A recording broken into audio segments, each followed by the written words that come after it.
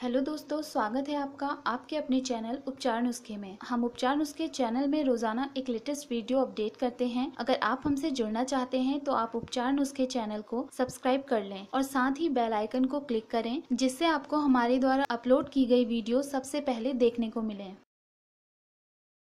होली पर खुशियों की शुरुआत करें इन खास वास्तु उपायों के साथ। होली का पर्व सुख समृद्धि और भाईचारे का पर्व माना जाता है। इस दिन होली खेलने के बाद होली मिलन की परंपरा सदियों पुरानी है। साल 2020 में 9 मार्च को होली का दहन और 10 मार्च को रंग वाली होली मनाई जाएगी। ऐसे में इस बड़े और खास पर्व के दौरान हमारे घर का वास्तु बहुत मायने रखता है। वास्तु अनुसार इस पर्व में घर का वास्तु ऐसा होना चाहिए जो हमारी लाइफ और घर में पॉजिटिव एनर्जी को आकर्षित करे। आज हम इस वीडियो में आपको कुछ ऐसे वास्तु टिप्स बताने जा रहे हैं। जो आपको होली के दिन विशेष रूप से करने चाहिए तो आइए जानते हैं ये ज़रूरी वास्तु टिप्स क्या हैं। होली की शुरुआत राधा कृष्ण से करें। वास्तु अनुसार इस पर्व में राधा कृष्ण की जोड़ी का बहुत अधिक महत्व होता है। इसीलिए इस बार की होली में राधा कृष्ण की प्रतिमा घर लाएँ और उन्हें अपने घर या घर के मुख्य द्वार पर पीला वस्त्र बिछाकर स्थापित करें और रंग खेलने से पहले गुलाबी रंग, जो कि प्रेम का प्रतीक भी है, पहले राधा कृष्ण जी को लगाएँ और फिर होली का त्योहार अच्छे से मनाएँ। गणेश जी को ठंडाई भोग लगाएँ। होली के त्योहार में ठंडाई का विशेष महत्व होता है वास्तु की माने तो इस दिन ठंडाई बांटने से पहले प्रथम पूज्य और सुख समृद्धि के दाता भगवान गणेश जी को ठंडाई का भोग लगाएँ। मान्यता है कि आज के दिन गणेश जी की आराधना और उन्हें ठंडाई अर्पित करने से घर में खुशियाँ आती हैं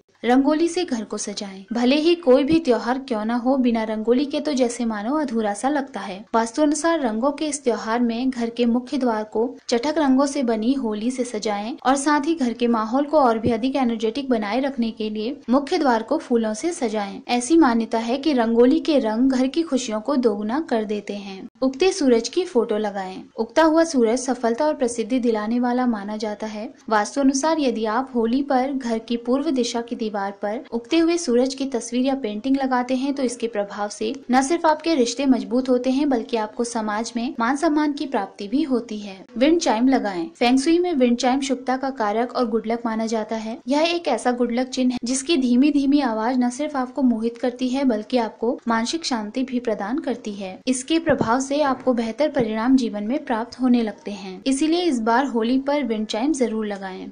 मुख्य द्वार पर पौधे लगाएँ। किसी भी घर का मुख्य द्वार घर का सबसे अहम हिस्सा माना जाता है, क्योंकि घर की एंट्रेंस से ही घर में सकारात्मक या नकारात्मक एनर्जी प्रवेश करती है इसीलिए इस बार होली के पर्व पर अपने घर के मुख्य द्वार को साफ़ रखने के साथ ही इसे पेड़ पौधों के साथ सुंदर ढंग से सजाना चाहिए ये मन को शीतलता देने के साथ ही घर में पॉजिटिव एनर्जी के प्रवाह को भी बढ़ाते हैं दोस्तों, अगर आपको हमारे द्वारा दी गई ये सभी जानकारियाँ पसंद आई हों तो आप उपचार नुस्खे चैनल को सब्सक्राइब लाइक और शेयर करना ना भूलें।